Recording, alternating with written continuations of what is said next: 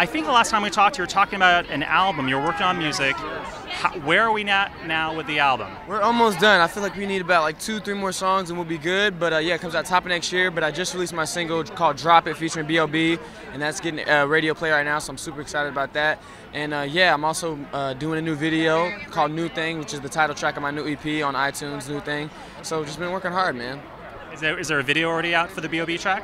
Uh, no, there's a video out for Drop It. I think we might do another one though with B.O.B. because now he's on the on the track. But uh, we're shooting the video for New Thing pretty soon. And do we have like a, a, a, estimated month of when the album might come out? I think like February, March. February, March. But yeah, I'm super excited, man. I've been working hard. You know what I'm saying? And that's that's all I wanted to do.